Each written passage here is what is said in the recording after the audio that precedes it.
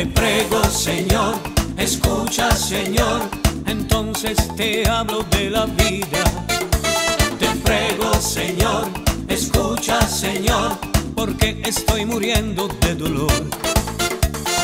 De mi mujer he perdido todo amor.